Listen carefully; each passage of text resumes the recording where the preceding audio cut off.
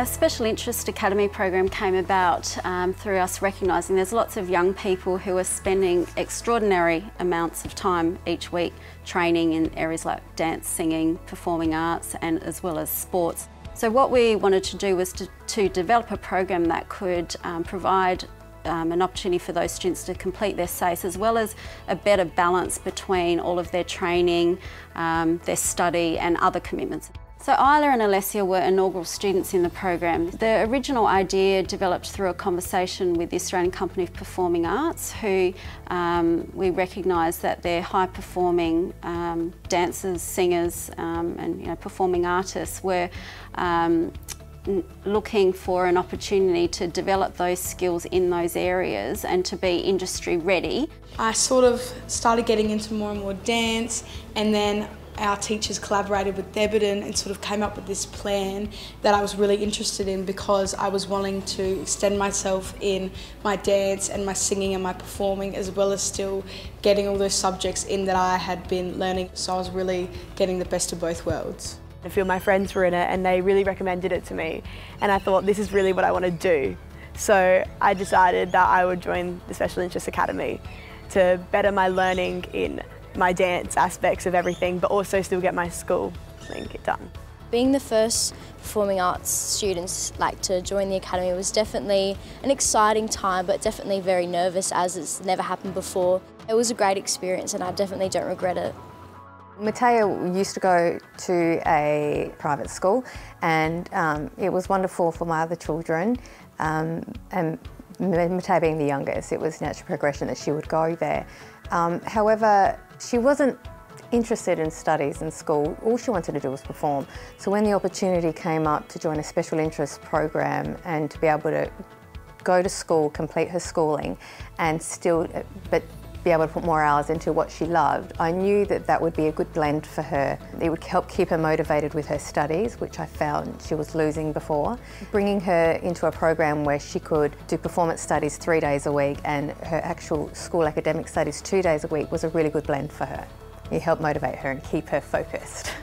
So what you'll find, the students in the Special Interest Academy all have a program tailored to them around their particular you know, interests and aspirations. So some of them are still wanting an ATAR pathway, so you know, the subjects that they've chosen and the way they've completed their SACE will look different to another student. We've got other Special Interest Academy students who are looking more for a vocational opportunity, so completed their Certificate 3 in dance, um, some of them have gone on to a Certificate 4 in dance teaching um, and using that as part of their SACE as well. I feel like I always loved school, I loved my academic side of subjects and stuff, but I also had this other really big interest in my life that I was trying to balance.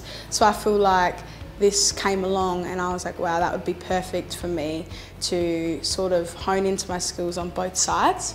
I feel like I've learnt lots in time management and sort of just separating my dance from my school and when I'm here I'm trying to be focused and when I'm at dance I'm focused there.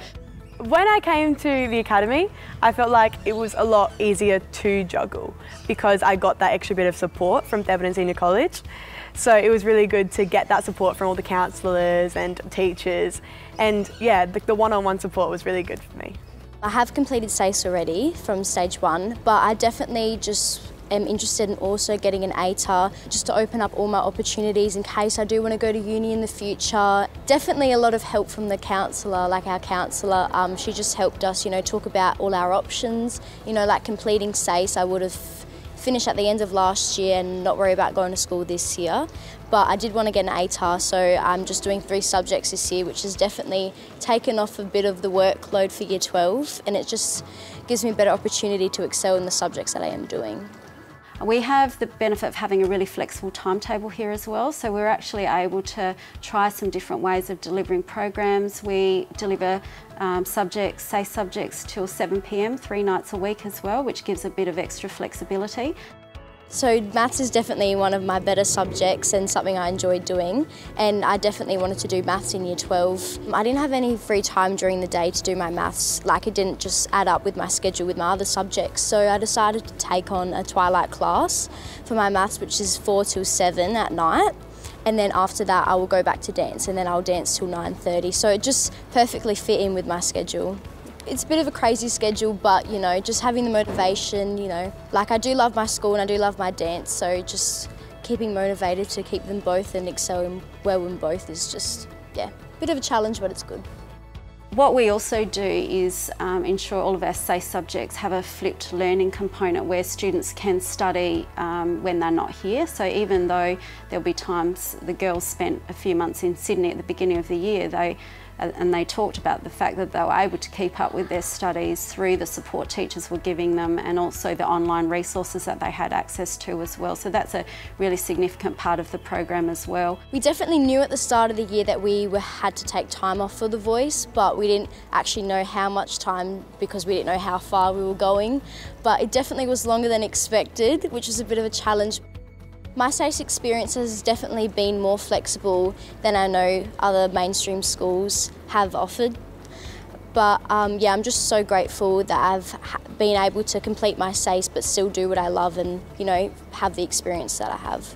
We are so proud of the girls and what they've achieved. Um, it's been a lot of hard work um, for them. Um, the, the juggle with um, their, their study as well as all of their performing and the amount of training that they need to do to be at that standard is phenomenal and it, I guess it's a real partnership. It's a partnership between us, the students, the parents and also their training, you know, where they're doing their training. In this case it's the Australian Company of Performing Arts. So we've all worked really hard to um, you know, develop a program. I feel like uh, the Australian Company of Performing Arts in Thebarton have a really good um, communication with each other. So they're able to communicate when something might be a difficulty and then work together, which is really good because you've got both support from both ends. And then coming to here, we've got our counsellors who just look after us heaps and check up on us, and of course our teachers who will give us an extension if we're really struggling or you know push us to get something done or sit down with us and help us out so I feel like the support here is amazing and also just our parents who put us at this program. They're very supportive because they can see both sides of the picture. I guess for us, I mean, the SACE is so flexible and um, if you look at each student as an individual and what's going to work best for them, I think, you know, the, the SACE doesn't have to be a two-year linear program with you know, X number of credits in stage one, X in stage two, doing research project at a particular time. And really that's what we do here at Thebarton, that we say there's no one size fits all. Where are you at? What do you need? And let's build the SACE around what's going to help you get there. I think every child needs to finish school. If they're able to, they need to finish school, um, just to give themselves opportunities. But as far as what they're learning at school, I don't think the traditional model necessarily works for everybody. You know what their dreams are, you have every hope and desire to help them achieve those dreams, um, but when it's actually realised, it's, it's incredible. Your actually heart actually feels like it's going to burst. Advice I would have for year 10s is to just, you know, definitely pick what you're best at and what you're most interested in because you'll definitely excel in those subjects. I mean, if you're doing something you're interested in, you're more eager to learn about it rather than doing stuff you're not really interested in. As, as an educator, I I feel really proud that we can offer a program that's, that is a bit different to cater for students who don't fit into the, the regular um, idea of what a year 11 or year 12 student should, should look like. Um, our, our, staff are amazing in, um, in the way that they identify um, student interests and student passions and develop ideas and programs around that and there's a long history of that here at Thebarton um, where our SACE teachers are so innovative in in developing um, the programs but it's also the support that they give the time that our teachers invest in ensuring that every student is you know can be successful and achieve their dreams is is really amazing and it makes me really proud to work here.